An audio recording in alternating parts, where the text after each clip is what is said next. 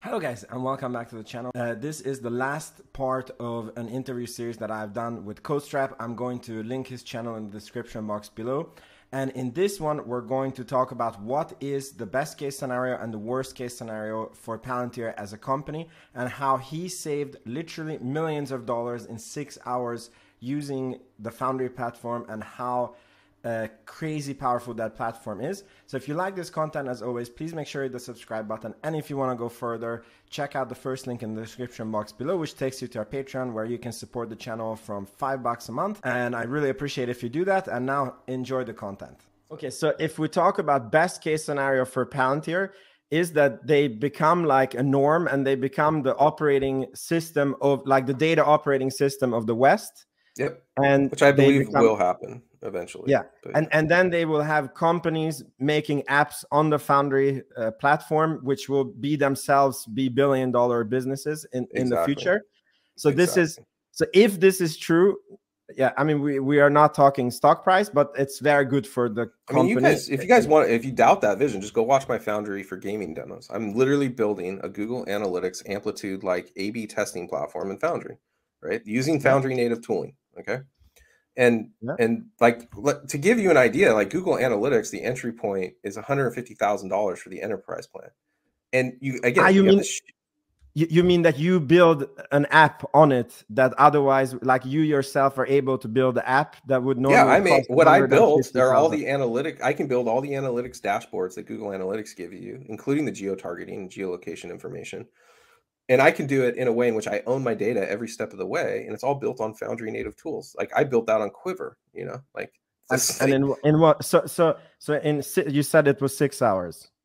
Six hours. I can. I mean, I don't have all the features of Google Analytics. Obviously, like yeah. it would take it take a team of engineers probably six months to create an equivalent offering, right? But, but like, but would it be would it be fair to say that if you were a gaming company, then you saved 150,000 yearly millions of dollars. I mean, it's not just 150,000 because that's just the baseline entry point. It's the, how much you spend would be closer to half a million dollars based on the amount of data you need to process through analytics. So, my God, my yeah. God, that is a big advantage. But like when I'm, when we're saying like yes, there's going to be multi-billion dollar companies that are just built on top of Foundry. Yes, that could look at AWS. You know, like yeah, hundred percent, dude. There's going to be like if they can pull this off, they are like the next big thing in computing. They're going to be a platform. You know, like wow. on par with the App Store platform, on par with AWS, on par with GCP. Wow. okay. Like and their worst case scenario, to look from another viewpoint, is that the competition takes over and they become this niche you know for big they become oracle huge... that's the worst the worst case they're oracle sorry they yeah. become oracle you know, the, the worst Oracle. case for them is their Oracle. You know? So, yeah, yeah, yeah. But but I mean, because like now I'm looking at it as a stock investor, that's still yeah. like for them to become the Oracle, it's still like a growth from here. I mean, so you have the worst case scenario, which is uh that that they become this niche. They already they already are that niche kind of supplier, that Oracle-ish enterprise thing.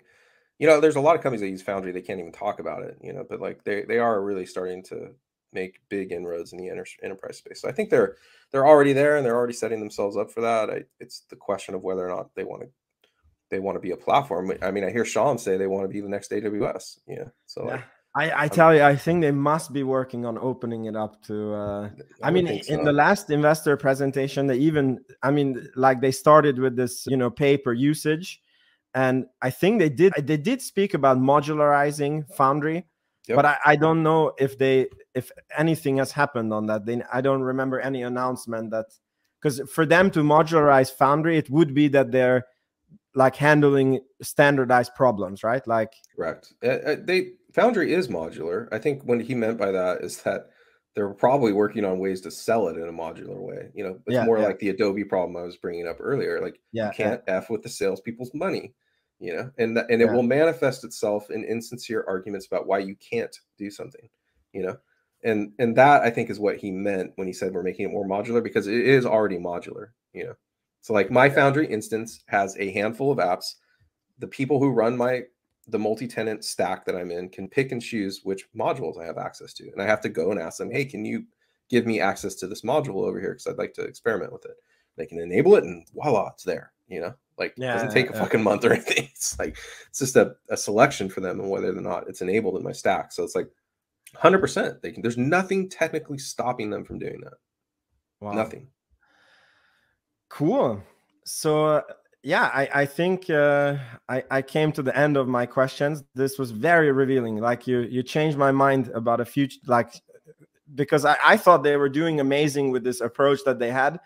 And yep. uh, now I see that they are they have a I, I still as an investor think that they're either going to grow quite nice or they're going to grow and, and blow up completely. But obviously, I, I want them to become this next, you know, AWS. It's so interesting I, I want... to think about. Like the thing, the thing that'll give you fodder for is like to word parse what is being said between, like, say, Shyam and Karp, or what you'll hear between their salespeople and their technical people. You know, and like it'll give you a new perspective and you'll start actually picking out little things that are being said and go i wonder what they're talking about behind the scenes like what are these conversations really like you know like when when Shyam's out there saying, "Hey, we're going for what AWS was for developers the last ten years, Foundry is going to be for developers for the next ten years." And then Karp's out there saying, "Like we want to pick and choose the customers." You know, like what are those yeah. discussions like in the in the executive room? Like I'm sure they're all friendly, but like I'm just I, it gives you things to think about of like what are the actual dynamics playing out internally. But but I wonder if yeah I, I actually wonder if it, it's not because Karp is more selling on the government side. And, you know, and then, for example, if you decide not to sell in China commercial, you know, then then yep. you did choose who are your customers. And, there, and I mean, a lot of companies choose will cut off China. Like that's kind of a bad example because it, that's just a um like a philosophy choice. You know, like yeah, but but do you think uh, they do they do this? That uh, like if I'm a commercial customer and I apply to them, then they like do an audit on the company. Yeah, like... I mean, Karp gave several examples in recent interviews where he would hold town halls and they would talk to internally to all the employees about like, do we want to do this? You know, and I think he gave one example of a banking company. Uh, it's probably in South America, and then um, another one I think was like a marketing kind of deal for for tracking PII and stuff like that. Um, he famously has stated, even in the early days, there were multi-million dollar contracts that they debated internally whether or not to pick up. Um, that would have made a huge difference for them financially, but decided not to because of ethical objections. You know, so like their culture is very much built around this idea that we have powerful technology, we don't want it misused, and the way we the sorting mechanism is about Palantirians deciding who gets the platform. That's what I hear anyway when I hear him describe that. And that, that absolutely cannot be like a scalable SaaS business, right? Like, yeah. And I get I get why you would want to do that with government actors, but in the commercial space, in my opinion, this is a solvable problem with terms of service and multi-tenancy. Where you can just yeah, like if you software. discover something, like you did, yeah. like let's say you discover that I don't know, they start working with OnlyFans and then they discover like, oh, this yeah. is pornography, and we didn't exactly. know, then you can just turn them off.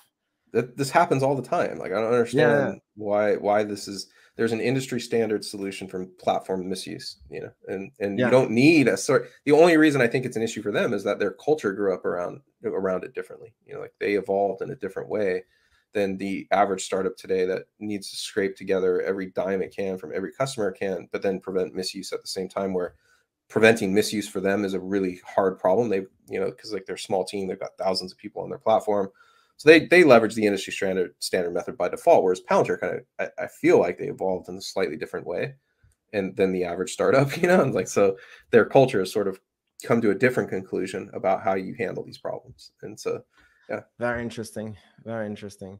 Yeah. Okay, and if we look at an average investor because you know one i feel that for example on palantir what's very hard for investors is that you know when you talk about tesla it's like you can yep. experience the car you know right and whatever company you you speak about you can experience the product you know and i feel yep. that on on foundry what we as investors can experience is that you know you, you you see that the customers are growing you see that they have a positive net retention which i by the way it's funny when people say that oh, Snowflake has 180% net retention and Palantir has 120 something percent.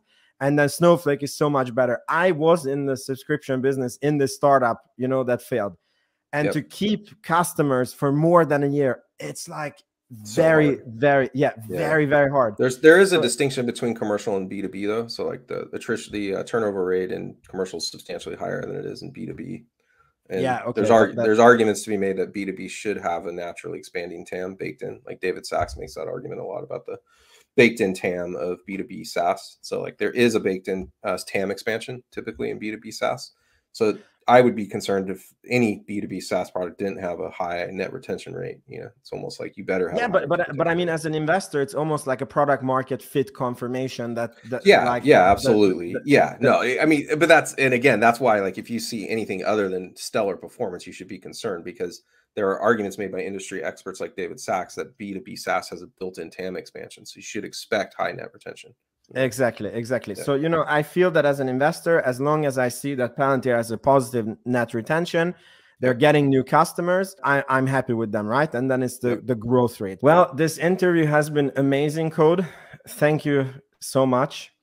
Absolutely. Do, do you have anything you want to add in, in closing? Uh, if people out there are looking for an alternative um, path uh, other than college, and you're interested in engineering, check out um, software apprenticeships. There are I operate um, open source curriculum to learn software engineering as a skill, as a trade, basically.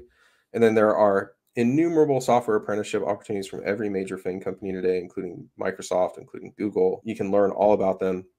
And if you want, if you have questions, jump on my Discord. I can point you in the right direction where you can learn about software apprenticeships. But the more people we get looking at that as an alternative, I think the better and it's a, be- a, much better path to prosperity and learning the trade than the traditional computer science track. So if you're out there, you're interested, check it out. Awesome. Awesome. Yeah. Thank you so much, Code. I hope that we can do this again. And absolutely, man. I really enjoyed the interview and I love your audience. I'm interested to see what they what they come to the table with. And yeah, just keep up keep up the good work, man. Yeah, awesome. We stay and I'll come touch. I'll come back on anytime. Like I gotta if I get a window for sure. And, uh, awesome. Uh, once Let's you see that. it,